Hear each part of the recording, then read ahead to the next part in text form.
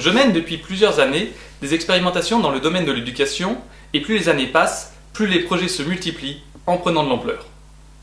Il y a 4 ans, j'ai piloté une classe de multidis, dyslexiques, dysorthographiques, dyspraxiques et d'élèves en difficulté et j'ai constaté qu'il leur était nécessaire de transmettre différemment. Cela a modifié l'approche de mes cours et de mes projets et j'ai accordé bien davantage de temps au travail collaboratif, accréditant la maxime selon laquelle, ensemble, on va plus loin. J'avais aussi la chance d'avoir de bons retours de la part de mes anciens élèves. Cela m'a permis d'impliquer leurs compétences dans les projets que j'engageais, théâtre, film, performances littéraires, etc. Un d'entre eux, Clément Zermati, m'a particulièrement épaulé et est devenu un binôme à part entière. En 2015-2016, nous avons développé les prémices du projet Intercycle en adaptant et vulgarisant avec des élèves de 3e le mythe de Virgile, l'Énéide, sur la refondation de la Rome antique, puis en le diffusant sur YouTube afin qu'il puisse servir à d'autres élèves.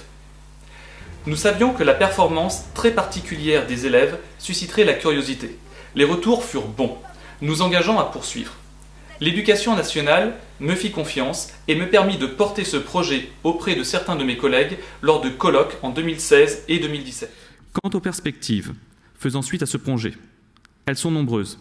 Le fait, tout d'abord, de transmettre des sommes de connaissances en utilisant les médias contemporains et en s'appliquant à les rendre accessibles à tous peut permettre, je l'espère, de développer l'esprit critique et par là même de former des citoyens éclairés. Ensuite, l'émulation que nous espérons avoir créée avec cette production auprès de certains collègues, en France ou ailleurs, peut aussi, nous le souhaitons, permettre d'envisager d'autres adaptations, des échanges et une appropriation par des élèves des œuvres antiques en le remettant au goût du jour. Enfin, la possibilité d'avoir accès à ces métamorphoses numériques pourra amener, je crois, à une renaissance de la culture antique. Je vous remercie. J'ai aussi eu la chance d'exercer différents métiers, ce qui m'a permis de découvrir d'autres univers et de comprendre les attentes qu'avaient les mondes de l'entreprise et de l'artisanat par exemple. J'ai ainsi pris conscience des difficultés que pouvaient rencontrer les apprentis et les recruteurs. En croisant tous ces avis, il m'a paru qu'il fallait redonner sens au savoir et recréer du lien social.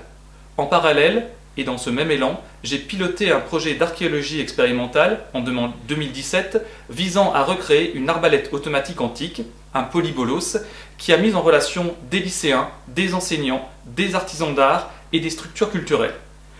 Nous avons suivi le projet sur YouTube, avons vulgarisé les recherches et expérimentations menées, toujours dans le but de partager les connaissances pour que d'autres se les approprient et s'en servent à leur tour.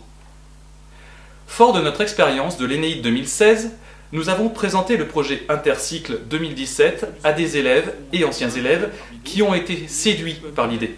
Ils ont choisi les thèmes à traiter et, en assistant les élèves lorsqu'ils en avaient besoin, Clément et moi-même les avons laissés créer. Enfin, aidés par des anciens élèves, des parents d'élèves et un compositeur, nous avons créé l'association Intercycle, dont le but est de proposer aux enseignants et aux élèves étudiants qui le désirent de participer à la construction d'un édifice de transmission constitué de créations personnelles atypiques et utiles à tous.